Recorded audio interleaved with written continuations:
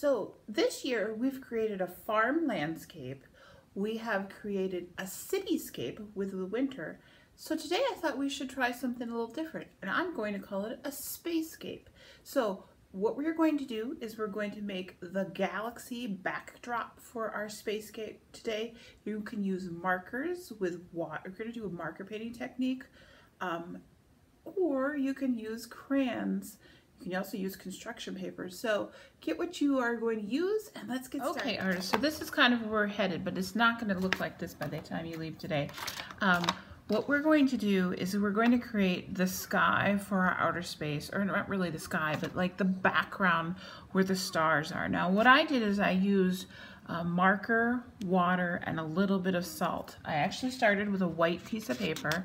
Now if you don't have the markers at your house um, and you're doing this at home, you could try also using watercolor. And if you don't have watercolor or markers, then try using uh, crayon and I'll show you how to do that at the end. So what I am, what I did when I was doing my uh, sky, I guess that's what we'll call it, even though it's not really sky, I was using these markers. I was using black, purple, and blue. Now if you have turquoise, that would be fine to put in there too. Um, and your markers don't even have to be fabulous markers. They could be drying out a little bit and it really won't matter. What we're gonna do, um, gonna start with one of the colors and it doesn't really even matter which one. I'm gonna use, by the way, this cannot be a permanent marker. It won't work. It has to be a marker that when it gets wet will smear and that's the key. So if you're gonna do this marker painting technique with me, what you're gonna do is just start by uh, adding color to your paper. Now it looks messy it looks like a disaster. It looks like I'm scribbling because I really kind of am. Don't worry. My marker, you'll notice, seems like it's drying out. I'm using kind of the flat part too so that I can cover more area. Um, since my marker is kind of drying out, I'm going to use a little more uh, of this. I'm going to go color right to the edges. So it's a good idea to have a scrap paper underneath when you're working or a messy mat, something that will catch your uh, ink and you don't have to worry about I'm doing a lot of black since this is outer space. Um, don't worry, the colors will get darker um, as we go here. So I'm gonna add some blue. And it's okay if you let these colors overlap one another.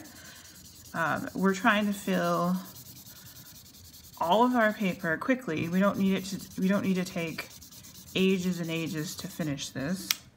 I'm gonna do some blue over in the corner, along the edge, trying to fill up these empty spots.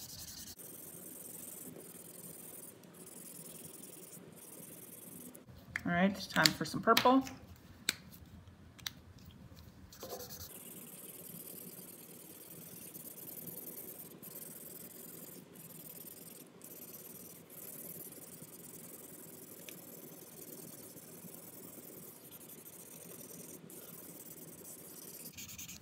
All right, so I can keep going on this, um, adding more and more ink. The more ink you do add to your paper, the darker uh, it will become uh, later on. So I've got, I think this is looking pretty good the way I have it.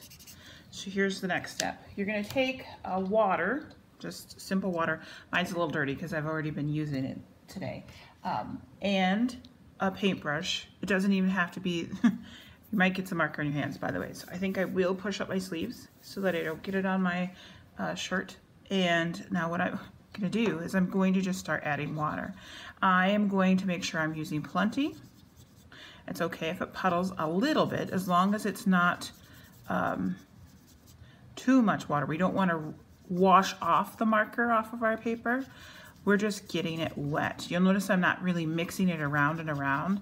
Get it wet and then I move on to a different spot. Um, it, it's really kind of neat when the colors blend and mix together. Um, and as this dries, the colors will keep moving. So I'm gonna wet down this whole paper and I'll show you what that looks like when I'm done. If you notice you have a big puddle somewhere, um, it seems like it's collecting in one spot, you can kind of grab that water and then move it over to a dry spot. Also, please make sure you're getting clear over to the edges. Uh, you don't wanna leave any spots dry on your paper. We want it to stay wet for a little bit because that's the secret here. Also, don't smash your brush. I'm going fast, but I'm not pushing hard on my brush.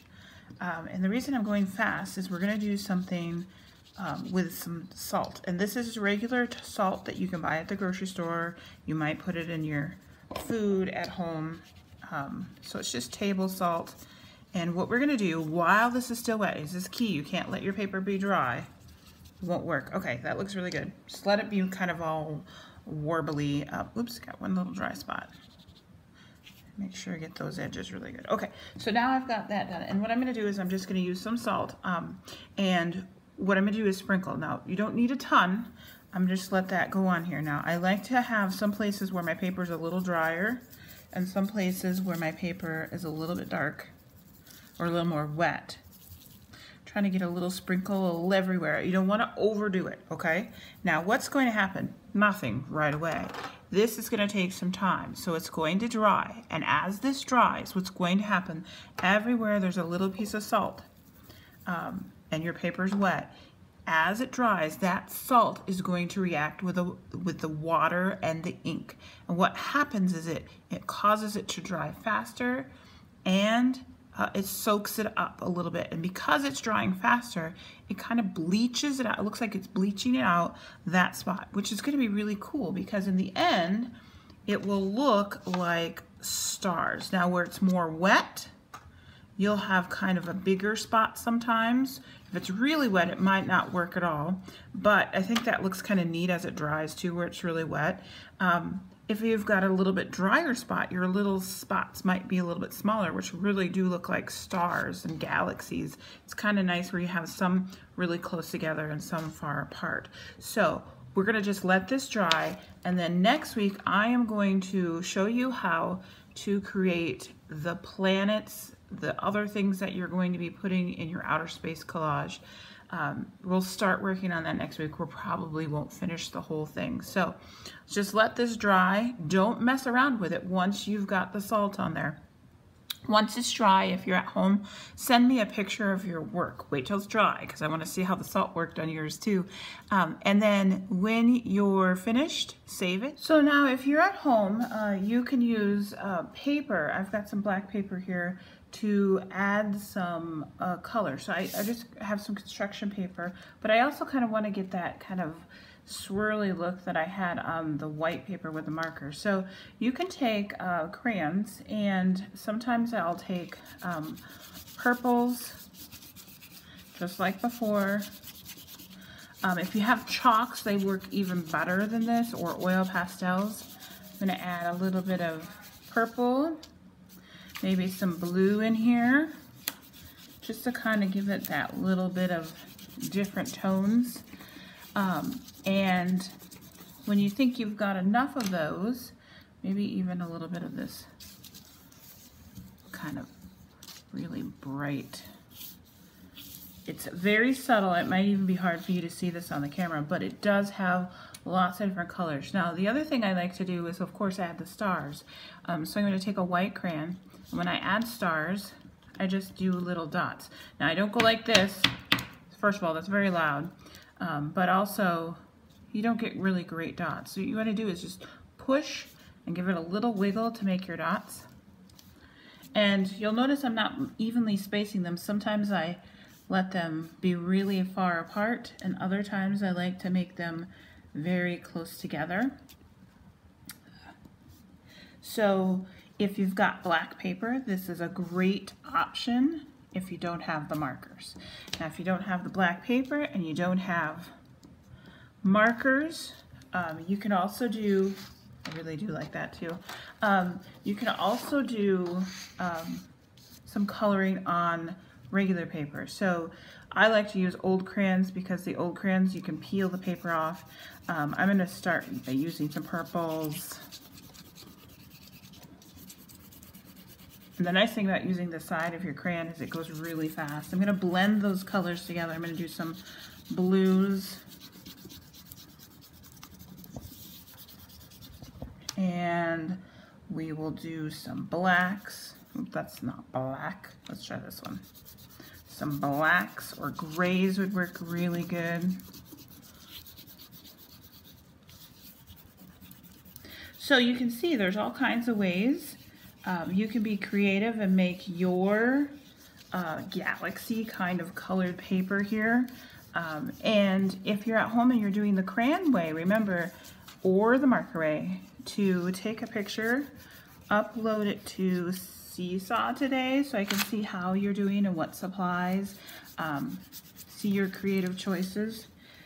Uh, you can try adding the white over the top that may or may not work and if it doesn't work don't worry about it. Um, you can always add some stars in later when we get to doing the planets and things. So um, when you get done today, show me your artwork on Seesaw.